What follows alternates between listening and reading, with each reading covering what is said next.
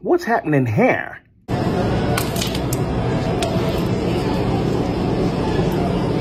Is he supposed to be making pizza? And well, why he putting squirt cheese in the crust? I guess I could have reworded that.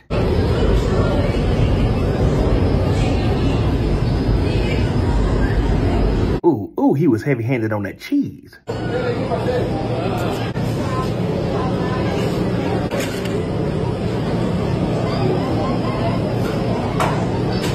What's that, ham and onions? That ain't that bad, I guess.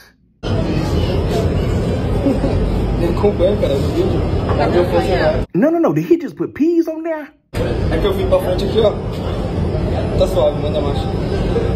And did he just add a boiled egg? Oh, my stomach bubbling.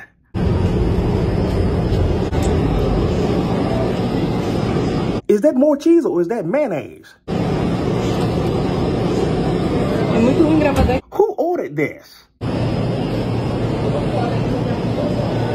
So don't you put another thing on there? I'm not gonna make it. I feel something trying to slip out. Lord have mercy.